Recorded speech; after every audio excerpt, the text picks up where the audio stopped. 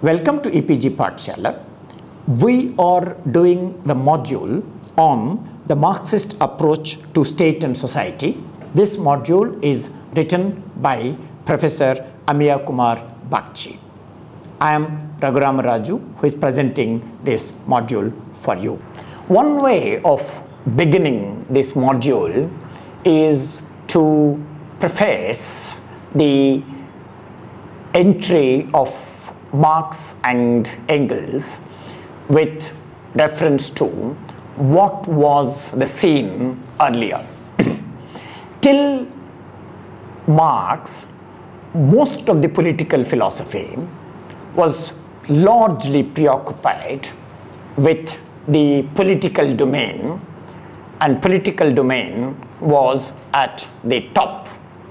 They assumed, beginning from Plato till Hegel, that it is the politics that controls the society. In other words, there is the political domain at the top and that political domain governs largely the social domain which is assumed to be at the bottom. Marx came and brought a very important change, a revolutionary change in the way in which one looks at this configuration. And this is a remarkable achievement. The remarkable achievement of Marx lies in pointing out that it is in fact society, particularly the economic aspect of the society at the bottom that controls, governs the political along with other domains like culture, language, literature, what have you. Now, this is an important change in social theory that had not only far reaching but varied and multiple implications and consequences in social theory. So that's a remarkable achievement and this achievement was initiated by Marx. That's why somebody like Michel Foucault terms Marx as an author of discursivity along with few others. In addition to the revolutionary changes that were initiated by Marx, Marx also contributes immensely to the way in which social theory, uh, the, to the nature of social theory. So with this background, let us look at an important aspect or let us look at one of the major agendas of socialism. How did socialism, that becomes a very important and a pervasive term within Marxist discussion, was used earlier to Marx. Now, two important aspects that governs the nature of socialism or the agenda of socialism are a move from individual or universal justice to social justice. Marx talked about social justice, social distribution. That's the most important point that we should keep in mind. The other important aspects that comes to us while discussing socialism is the idea or concept of equality. Now let me just take a minute or two to explain two important takes on the idea of equality. Equality is an important aspect in Aristotle. Aristotle in his politics claims that inequality is natural and equality is unnatural. In fact, he says that inequality is civilizational and equality is barbarous. He says that it is the barbarians who practice equality. So he says that's not natural. So that's an important point that we should keep in mind about bringing or aligning equality with nature. Now, if you look at Rousseau, by traveling few centuries uh, in time, Rousseau says that equality is natural and inequality is unnatural. That's why he begins with this, uh, uh, this very popular statement, man is born free, everywhere he is in chains. So you have nature brought in the discussion on equality, you have Aristotle claiming that equality is unnatural, inequality in contrast is natural. In contrast, you have Rousseau who talks about how equality is natural and inequality is unnatural. So this is the fulcrum of the discussion that Marx takes it further. As a part of modern package, he accepts the legacy of Rousseau and he finds that inequality is unnatural. That's why inequality should be rooted out. Equality must be established because it is natural. So now you see that the discussion, the political discussion about equality has a lot of metaphysical discussion about the idea of nature and it moves on in that context.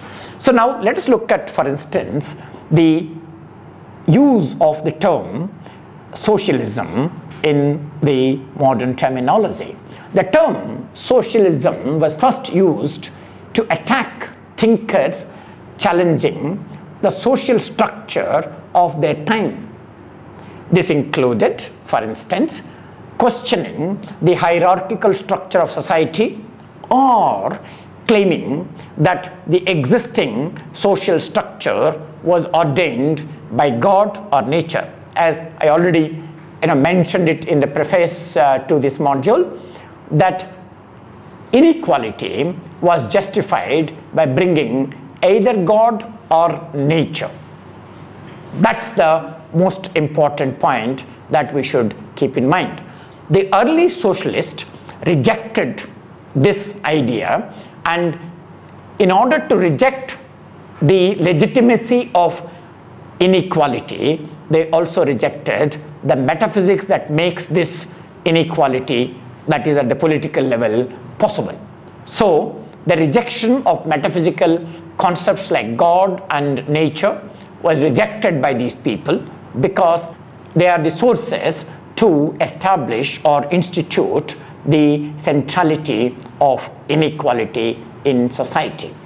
Socialist thinkers argued that human beings are free by nature.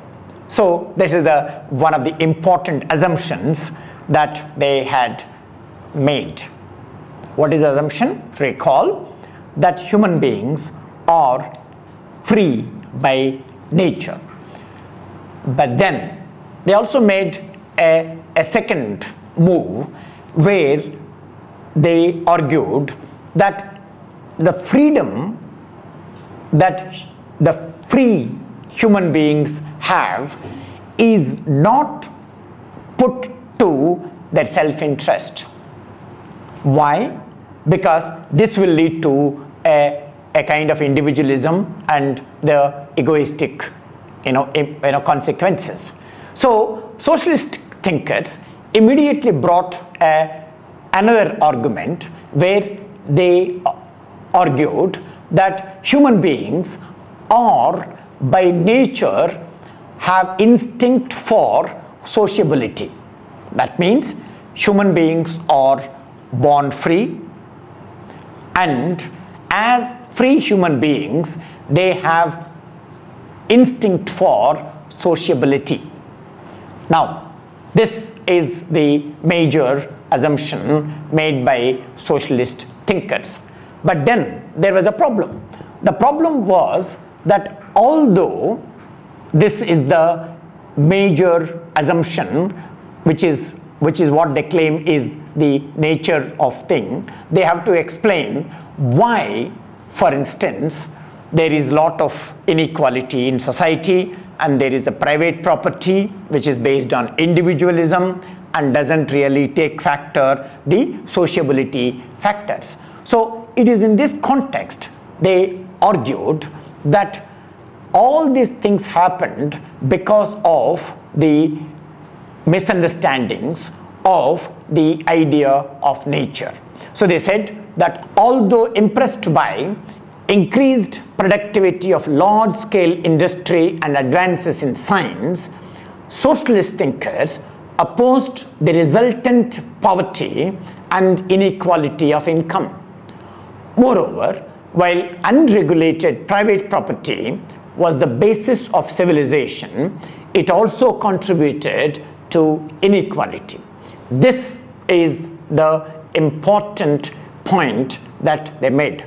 Now, let me just recall two things that there are two assumptions that they have proposed. One, the human being is born free, and two, human being have instinct for sociability. And then they have to explain why there was this unregulated pursuit of self-interest has led to private property which is an aberration, which is not something that is good for human beings according to them.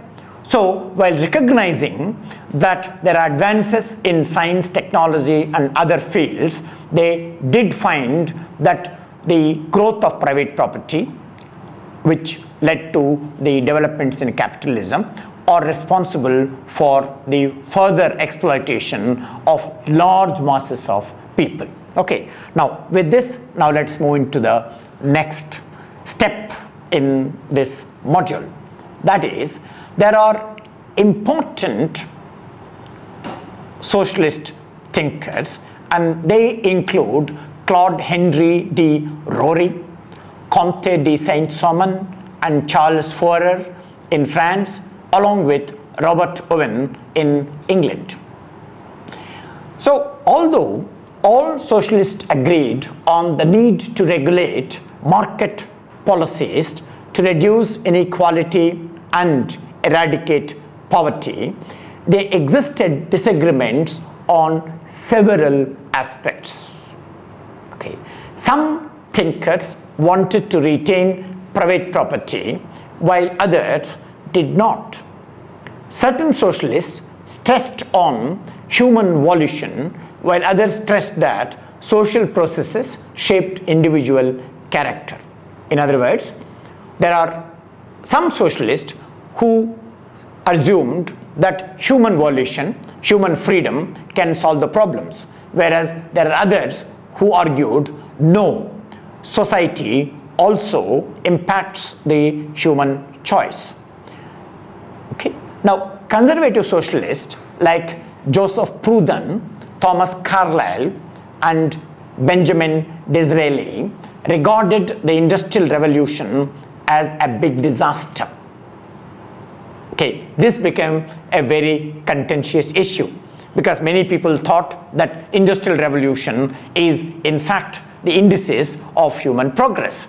But whereas these socialist thinkers who are branded as conservative socialist thinkers thought otherwise for them industrial revolution is in fact a big disaster. It is not a big achievement but a big disaster. These thinkers argued for a return to supposedly egalitarian conditions of medieval Europe where persons were engaged in craft production and small scale agriculture. Okay, so now you see that they were not the ones who wanted to for human beings to go you know further in time into the future but they pleaded for the need to return to a, a glorious past which is rooted in simple life where people are happy with crafts and things like that and not get into this massive industrial revolution. These thinkers that the conservative socialists were termed by Marx as representing reactionary socialism. The present module will focus on shared propositions that underlie Marxist and socialist approaches to state and society, along with alterations that took place given the evolution of state and global economy. So let us now look at Marx and Engels. Drawing on early socialism, Karl Marx and Friedrich Engels formulated the most widespread variant of socialism. In embarking on this, they attempted to trace the history of social hierarchy and inequality to the invention of agriculture and animal husbandry. Let me explain this a bit. Earlier socialists only made statements about what was the situation and what should be the situation. One of the important contributions of Marx and Engels lies in explaining how what happened had happened. So they used, for instance, that agriculture and animal husbandry contributed enormously to the progress of inequality in societies, which the earlier socialists were rejecting. Okay, that explanatory aspect in Marx and Engels is very, very important. These developments, according to Marx and Engels, resulted in the creation of what they identified as division of labor and the division of labor Marx and Engels said through developments in communication further resulted in the birth of social hierarchy. Now you understand the kind of a genealogy that they're tracing. So there was a state of equality and through agriculture and has, uh, uh, animal husbandry and through the creation of division of labor has and the communication has slowly contributed to the growth of social hierarchy. So Marx and Engels said inequality was then further entrenched with the coming of property rights over natural substances such as land. This growth of inequality got politically legitimized by the institution of what is called as right rights on property that you can own property. And this is a political move you know that happened in within Europe. In addition Marx and Engels would see social history as a history of struggles between different groups in society so the class struggle is the most important thing that they have brought into this, into the understanding of social theory. Marx and Engels argued that the history of all hitherto existing society is the history of class struggle. However, what is to be remembered here is this was not the first time society was seen as composed of classes. Political philosophers such as Jean Bodin, Thomas Hobbes, John Locke, and argued that the state by nature was to protect private property rights against the dangerous and disorderly claims of the property less. So they basically saw state as legitimizing property by the property owners and to put down the resentment, if there is any, by those who do not own property. Adam Smith and David Ricardo had divided English society into three classes, and they are landlords, capitalists, and wage earners. They also recognized that the interest of the three classes are antagonistic to each other. The conflicting nature of the different classes of society have been recognized by these political economists. Ricardo, in particular, claimed that the rise in population would result in an increase of land rent. This increase in turn would raise the price of agricultural goods causing wages to increase. High wages in turn would eat into the profit of capitalists leading to a decline in investment. This would result in unemployment and a decline in wages. A Ricardian socialist would reinterpret the above claiming that in a world dominated by capitalism, the locus of conflict was between capitalist and workers. Following Ricardian socialist, Marx and Engels argued that capitalism was a system where the capitalistic class consisting of small group of people owned the means of production. The workers or the proletariats who are in large number dispossessed of their means of production had to sell their labor power so as to earn a mere living. Marx defined surplus as gross profit earned by the capitalist minus the wages given to workers. And so the surplus, although produced by the workers, was pocketed by the capitalists. This is the root or nature of exploitation within a capitalist system that Marx pointed out. In this context, Marx argued that workers needed to take control of the means of production and create socialist state. While Marx was aware that the state was an apparatus of repression, historical events such as the resistance of Paris Commune of the workers of 1871 strengthened his view that the communist takeover of the state was necessary and this incident of 1871 made it clear that it is also possible. For such efforts to be successful, Marx recognized that the process would be complicated and required preparing and organizing the working class. Marx argued that changes in the social structure takes place when the relations of production, relations between actual producers and upper classes controlling them, constrained the forces of production. Given this argument, many have labeled Marx as an economic determinist, where the superstructure of the state and society is seen as an outgrowth of the economy. Such a label would, however, misunderstand Marx and in another module on Gramsci and Althusser and base and superstructure, we have elaborately discussed this.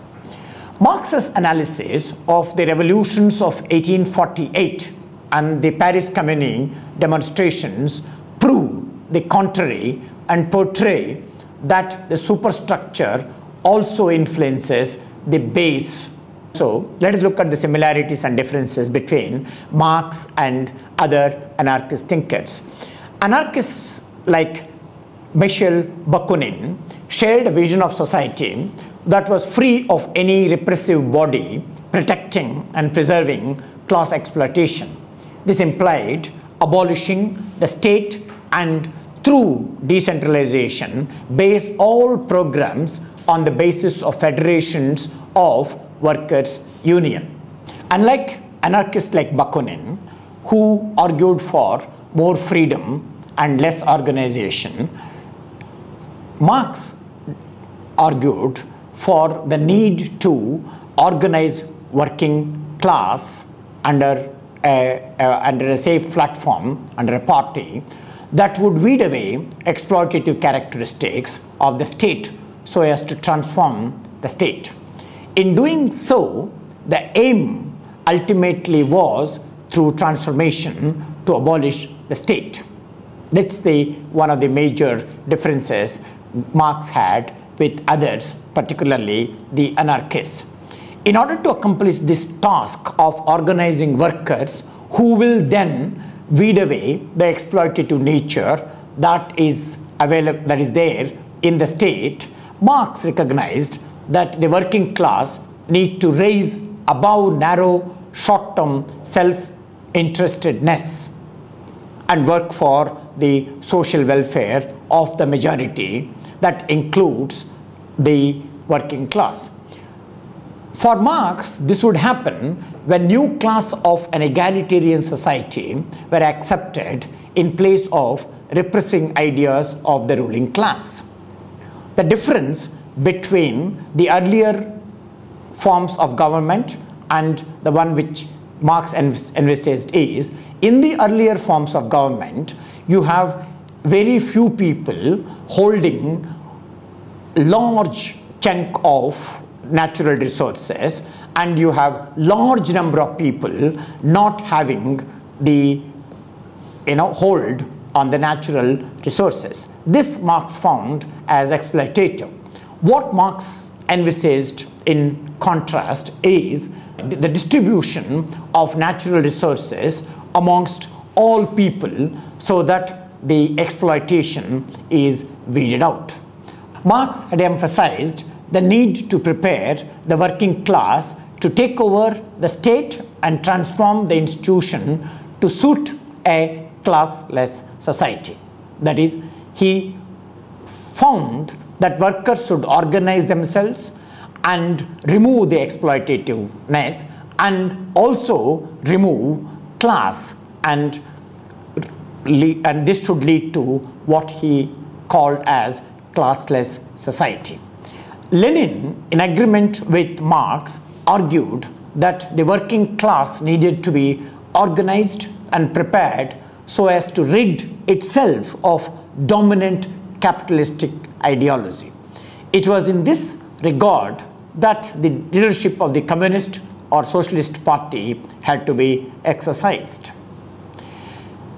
This brings us to the intervention of those like Gramsci, who argued that democracy and the resistance of dominant ideology needed to happen in the daily lives of those political actors who wanted to change society.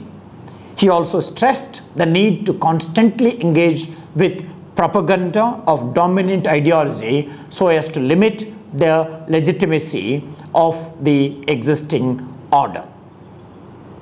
Extending Lenin, Gramsci argued that in order to enable the end of classless society, it was required for the exploited majority overcome narrow class interest. This would happen, according to Gramsci, by developing intellectual elite who would encompass such an end. Socialism had also focused on gender discrimination. Engels made seminal contribution to understanding the subjugation of women. Other scholars who have made contribution to socialist theory of gender are Alexandra Kollontai and Clara Zetkin. So now, having laid bare some broad features of the socialist theory of state and society, let us relate the discussions to the contemporary world. The Industrial Revolution saw increased use of non-renewable resources. This trend has continued till contemporary times, leading to a competitive race for resources among corporations and state institutions. This has resulted in increased inequality in different parts of the globe, particularly in the use of the non-renewable resources. Furthermore, the increased use of non-renewable resources has led to drastic environmental consequences such as the melting of glaciers and subsequent rise of sea level, the loss of biodiversity and the thinning of the ozone layer. Socialists now must stress on reduction in large-scale industrialization on the use of renewable resources and advocate for better democracy. To summarize this model, we began by looking at what was the scene before the entry of socialists the scene was the legitimation of social hierarchy using the metaphysical concepts like God or nature. And that continued till the advent of modernity. And with the advent of modernity, you have a U-turn in the social theory in the West where the hierarchy or inequalities were rejected outrightly and they try to institute a new basis for society which is equality and freedom. The socialists before Marx have prepared certain ground to the to this kind of way uh, this kind of looking at society. The socialists before Marx have prepared a ground, though not to the satisfaction of Marx, before he worked on his own theory of socialism. Okay, they argued that there is something seriously wrong with the way in which society is developed, particularly inequality and exploitativeness.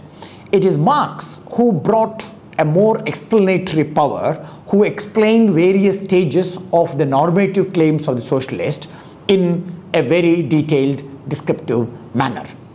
And that led to a better understanding of not only how societies functioned earlier in legitimizing inequality, and, but, but also how one need to organize to scuttle that kind of process of perpetuation of inequality and then institute different kinds of programs, for instance, how workers have to organize themselves and go beyond their self-interest and root out the evils such as inequality and remove exploitations such as the capitalist exploiting the workers and also attend to the very important and the crucial claim made by Marx, namely removal of class.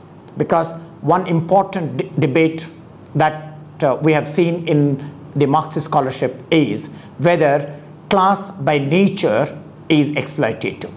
So if class is by nature exploitative, then somebody would somebody like Marx would argue that you must remove class. And that is the crucial idea underlies his claim for a classless society.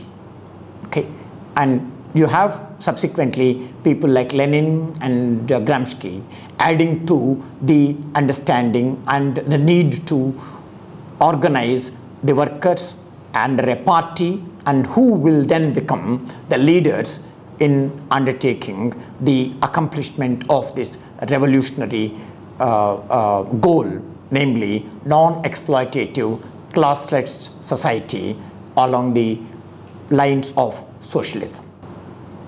Thank you.